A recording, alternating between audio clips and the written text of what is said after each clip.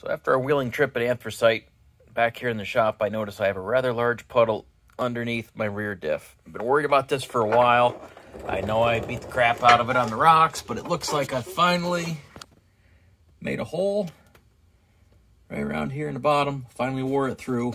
I've been wanting to shave this 9 inch for quite some time, so it looks like uh, now's the time.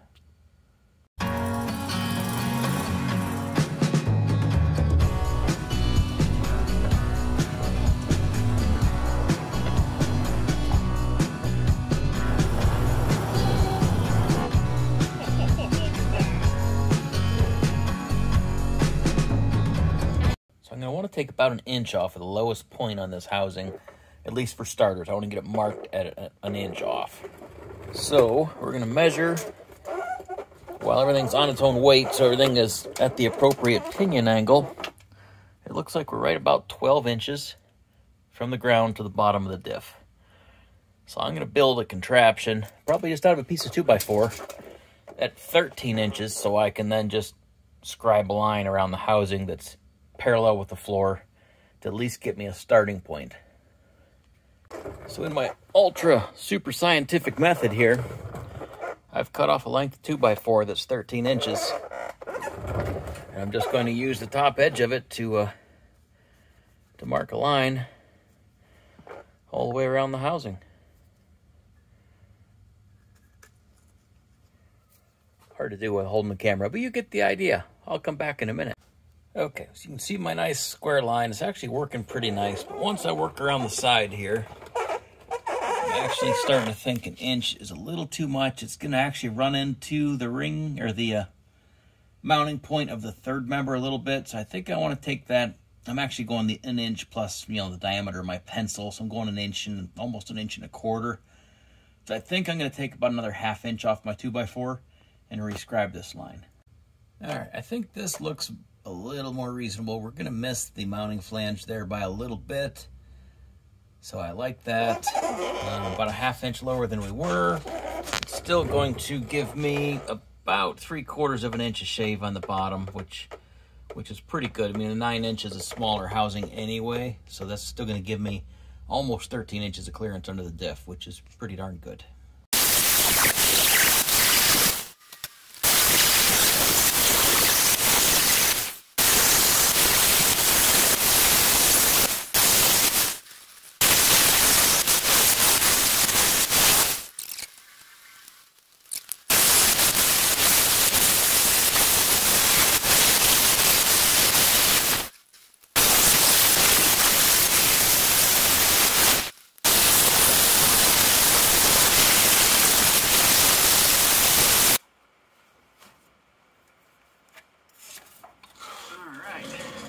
Piece out of the way.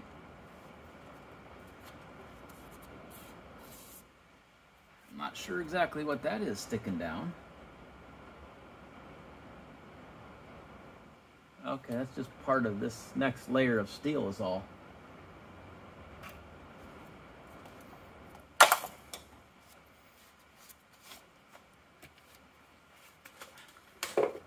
See if we can get the camera in here a little closer and show you what's going on here.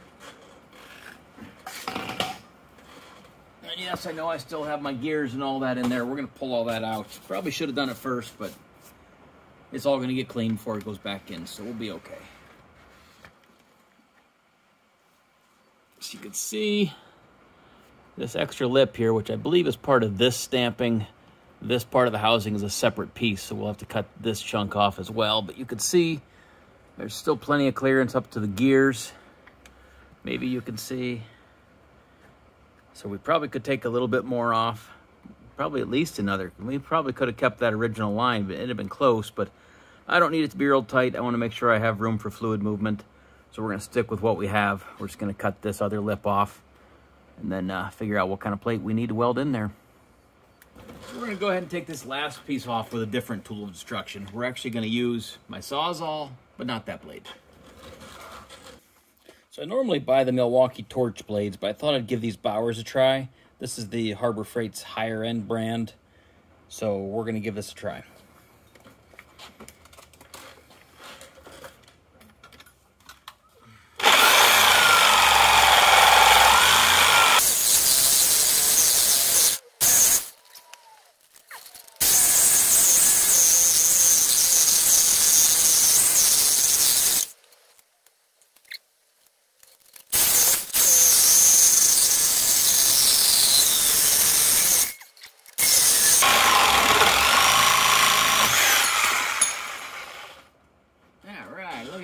Flat bottom.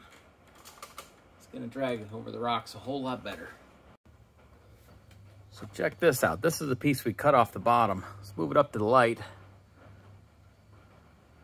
Look at the holes in there. I don't know how it's to come out on film, but you can see there's actually a whole bunch of holes along that bottom edge there. We definitely, uh, definitely wore through this piece. So we're to go ahead and use this piece to uh, cut out our template for our new new bottom piece. So this was reasonably thick steel. You can see there, it's it's probably better than an eighth. It's thicker than I thought it was. But we're going to go ahead and replace this with some quarter. So we have this piece of quarter inch steel here. We have plenty of steel to be able to scribe around here mark our lines where we're going to cut. For plasma cutting, I'm using my Antra welding helmet that I picked up off of Amazon in the grinding mode. It actually works great for the plasma. I can still see really good, but it's not hurting my eye.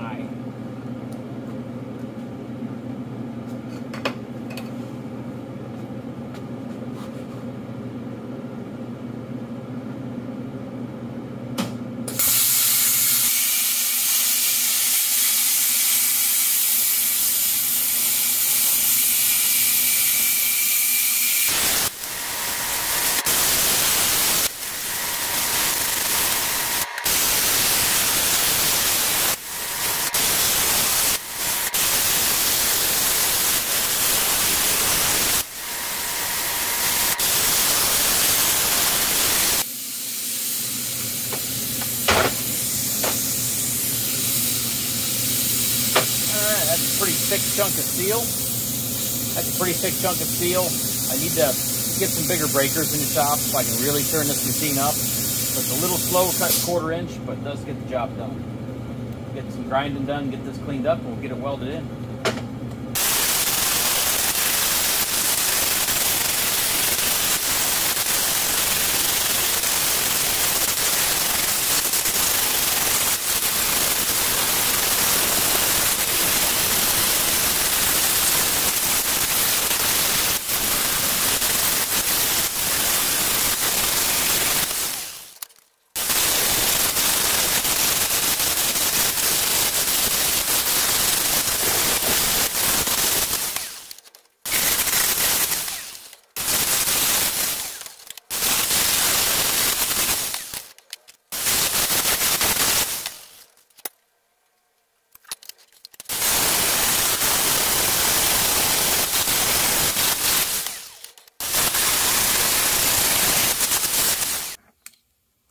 So it's a little bit crooked of a cut.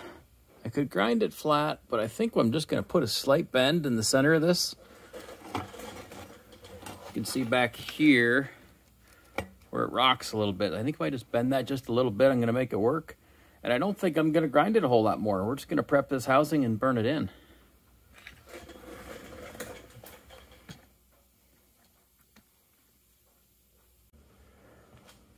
Course, you guys remember the barn find shop press we had a video on a while back, so I'll go ahead and give this quarter inch just a little bit of a tweak.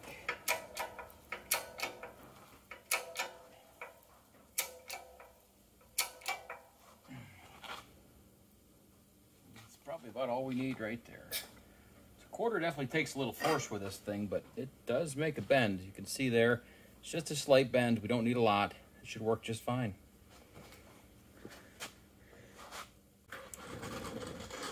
So we've got a really nice sharp edge all around most of this. We're going to use the uh, carbide burr on the die grinder to clean that up a little bit.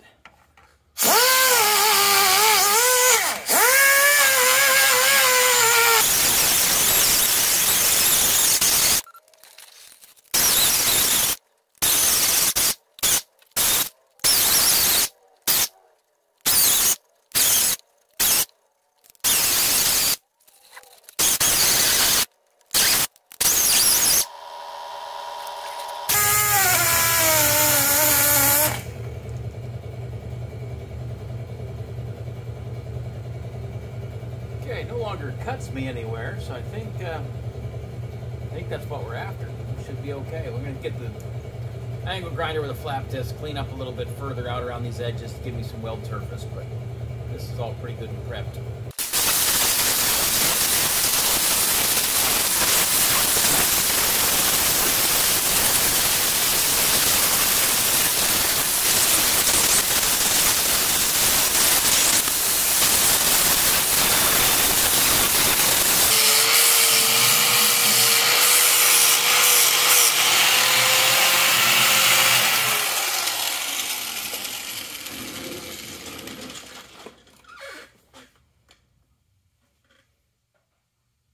All right, well, we have the opportunity. Let's uh, inspect up in here as best we can.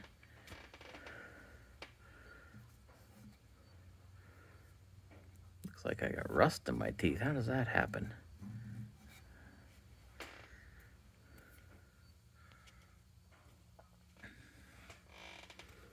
But there's my spool.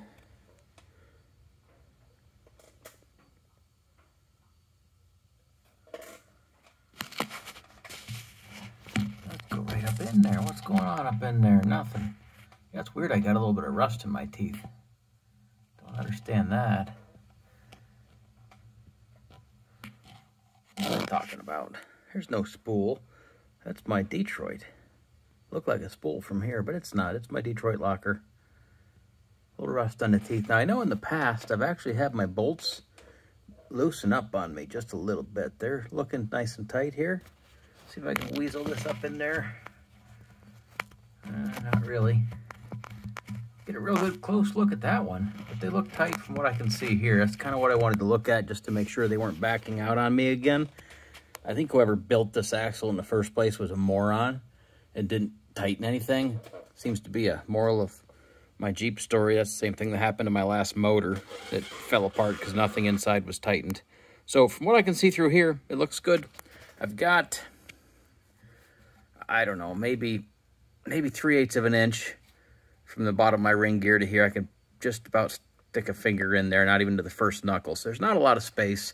Again, I could shave this a little bit more and get tighter to that ring gear, but I don't mind leaving a little room for fluid to move.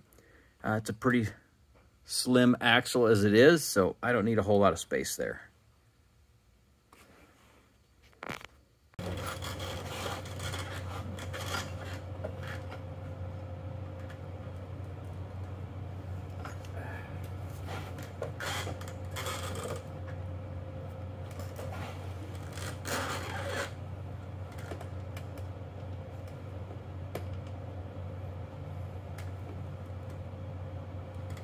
Okay, nothing left but to weld it in place. So I went ahead and welded a tab onto the bottom of the plate just for my ground clamp.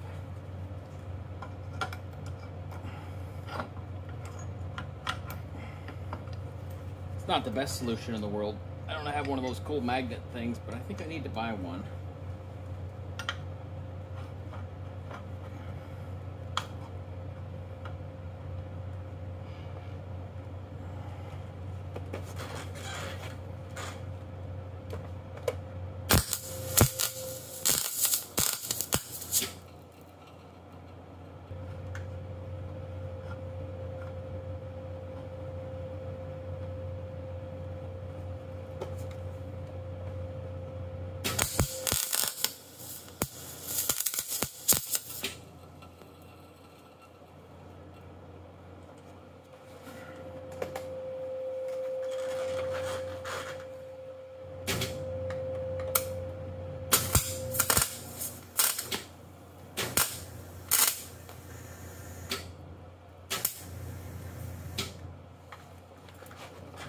This gun is not set up well.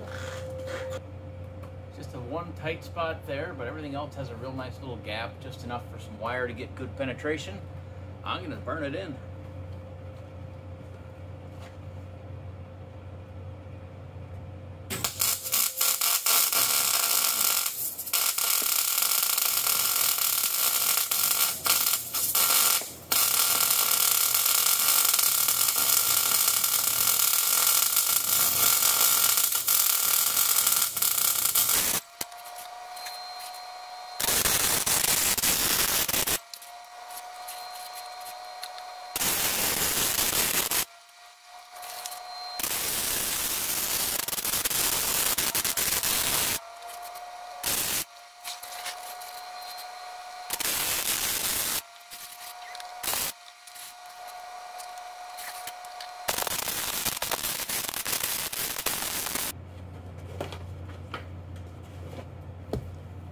Think that is airtight. I'm getting no more smoke coming out, which actually is kind of a good sign. If I don't have smoke, that means my fluid's not gonna come out. Just gonna hang out here for a bit, make sure I'm not building any heat where on the inside, I, I can't imagine there being anything burning because I watched the slight gap till the very end. There was no glow, but it still makes me a little nervous. We're gonna give this a bit to cool while we build this next piece. I'm also gonna build a skid because you can see this massive dent right here. I'm gonna build a piece out of the same quarter inch material that comes up here, at least just to protect that most vulnerable spot. I may even build a little more out around here. I don't know. We'll see how far we go. So I use the press brake again to bend up chunk of steel that's going to go on this back. Kind of support that rib. It's not as thick. It's only an eighth inch, but an eighth inch on top of more eighth inch going to give it that quarter. It's definitely going to add some strength. Uh, try to get it in the center there. Zoom way back. Make it focus. You'll get the idea once it's burned in, but it's going to add some strength to the back of this thing. Okay, so all right, so the flash is making it a little difficult, but we're at about 12 and a half inches of clearance now. Started out about 12, so I guess we only ultimately gained about a half an inch, but we certainly gained a whole bunch of strength in the bottom by going that quarter inch plate. I also wrapped this piece up around the back just to double that thickness. Welds are a little ugly because of some gaps, because I didn't really form it around the compound radius as well as I would have liked to, but it's definitely stronger. Looks good. So we went ahead and stripped, let's start over here. So we went ahead and stripped this nine inch. We pulled the, uh, pulled the axles out by taking the four bolts off the flanges, pulled the third member out. So we're actually going to get inside here. We're going to weld in here too. I, it's still leaking on me and it's making me mad. So I'm just going to do it right, pull it apart. We're actually going to weld this seam. You can see right here, a little, little nick where we cut. So we're going to weld this seam we're, you can see this is two pieces of metal, this piece on top of this piece. So we're going to weld this seam a little bit. We're going to weld this entire seam across here. And we're going to weld over here a little bit. And up here where we burned through. That should stop it from leaking. We will find out. Now that I've wheeled a little bit with my new uh, rear skid and my shave kit, you can see I'm still still dragging it on the rocks a bit, but I'm much more confident in it now with a quarter inch steel. Have, have I noticed a huge improvement? I guess I don't know if I have or not. I haven't noticed getting hung up on the rear end as much, so it must be an improvement. We're going to go ahead and wrap this video up. I hope you guys learned some things. I know I did. It was a great project. It really didn't take a whole lot of time. I had this whole thing done in just a little over two hours. Um, I've wanted to do it for a long time. It just seems I should have done it earlier. It was really not a bad project. So thanks for hanging in there, guys. Also, I've added some links down below to my Amazon cart for some of the tools I've used. I have my Antra welding helmet in there, which has been really great. I've used some more expensive helmets, but I'm really happy with that one for the price. I think it's 75 bucks. Uh, some other products down there, so go ahead and check out those links. Uh, you might find something there you could use. Thanks for watching, guys.